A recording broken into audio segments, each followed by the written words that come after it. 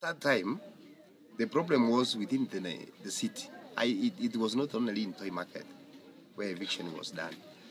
So the eviction was all over the city. They were demolishing informal areas. Uh, they were demolishing informal markets. So we had very many, very many slums where people were going for, for, for legal support to Kituo. So during that time when we met at Kituo, it is when we started knowing uh, each other because uh, we, we, we, when while waiting for for lawyers' advice, we talked. Where do you come from? I come from Mathare. Where do you come from? I come from Western. Where do you come from? Mukuru Industrial Area.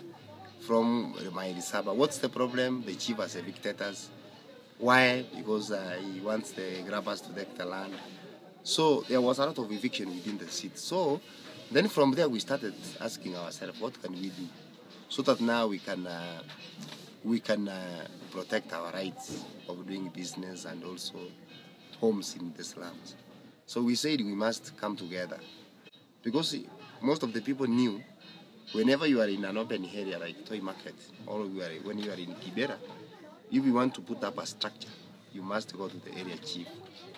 When you go there, if the space is there, they will tell you uh, if you want to put a, a structure or two rooms, you pay this money.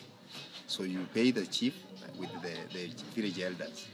So once you are allocated that space by the, the by the administration, automatically you know that is a, a, a government office which is genuine, and also it is a presidential office because the, at the chief's office is written the office of the president. So most of the people knew once you are given a, a, a space to put up a structure, it is a government uh, uh, uh, recommendation for you to be there. So most of the people knew that way. But when they find that uh, now the chief was the one who was working with the land grabbers and evicting people, so, so people started thinking, if the chief, they are the ones who gave us this space and we gave them money, and now the chiefs, they are the ones who are evicting then where do we go to ask for assistance? So there is nowhere. So we should have to come together and look for alternative ways of uh, fighting these evictions. So that's why now we started forming the a team. We first of that, first of all, we formed a team of 13 members. We had each each each village had one representative in that committee of 13 members. And then uh, from Mathare, Korogocho, uh, Maili Saba, Kingston, Mukuru, Wanjenga, Kwa Reuben, and um, Western Market, Kamai Village, which is at Kenyatta University, Kahawa Soweto. So we had representative in that team. So we started uh, doing private meetings, and most of the meetings mostly was for for for for sharing the experiences of evictions and trying to see what can we do as a community to stop these evictions. And you see that time, the, the, the Chiefs Act, Section 2A of the Constitution of Kenya was very powerful. There is nowhere you can challenge the chief. The, the, the, the, the Constitution has protected their, their powers. So once they, they say you are not supposed to hold a meeting, you cannot hold a meeting. They arrest you. So we used to, do, to go to churches, we used to go to NGOs offices where we cannot be found.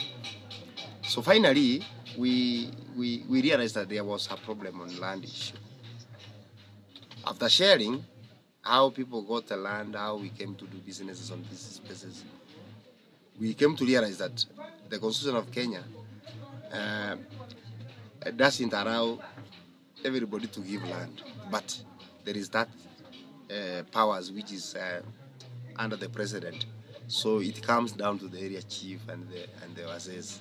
So they use it. So, but it is not a legal process. So that's why when the chief gives a space, it is not the final person. The Minister of Land and the the City Council of Nairobi were were the officers in charge of allocation of land. But this one of the area chief were temporary allocations. Even the president unless and otherwise you process, even if he has said this is your land, that starts political statements which cannot support any any anything you say in court. So now we started uh, organizing for awareness meetings, telling people to know that the land is under the Minister of Land and it is under the, the Commission of Land and the Nairobi City Council. And if you want, once, want somebody comes to evict you, he must have a court order. And before the court order is issued, you must go to court. So that now you can you can you can you can give your side, the story of your side, how you came that land, and uh, the owner of the land also could prove to the court. But most of the lands, you find that the titles or all the security of tenure, which they were using, most of them they were not genuine uh, security of tenure. Some of them were fake. Some of them were. You find somebody having a title of Mombasa, he can use it in Nairobi to evict you. Once you are evicted, it is when he goes to process for allocation of that land. Some of them they used the the the the, the, the, lawyers lawyers letters letters written by the lawyers and sent to the area chief and the chief stamps that uh, letter and they used it for eviction. And when they come to the meeting, the chief was the one to mobilize people and say, today I'm here because you are using somebody's land. And I'm told that you are supposed to leave this land by such and such a date. So if you don't leave, I will come by force. So immediately people start moving one, one, one. Until you, you clear the land. And if you don't clear the land, they come and burn that area, or they come with youths, they evict you, or they come midnight. They used to do anything. They come with the bulldozers, they, they, they pull down everything. So it was very harsh. It, is, it was a violation of rights. So when we were creating awareness, we were also mobilizing people to, to, to show solidarity. Whenever, if it is Toi market being affected or threatened for eviction, now because we have done awareness in the whole of Nairobi, so immediately I would in, inform them that we have been given a notice of eviction. So please, it is to be take place on such and such a day. So please can you come and support us? So we go to that area and, and stay vigilant to make sure that uh, we support. If there is there is that force coming, we will we will fight. We were ready to fight. We were ready to, to resist. We used to go and sleep there the whole, or even three days, waiting for those people to come. Sometimes they don't come because they know we are many, because we can go even 500 people and camp there. So we use that tactics to, to, to, to influence more people see that this is the only way of protecting our, our homes and our businesses.